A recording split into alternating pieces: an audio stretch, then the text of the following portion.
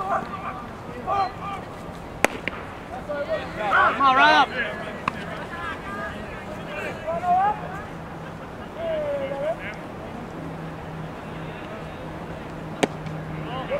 to watch it. Run up.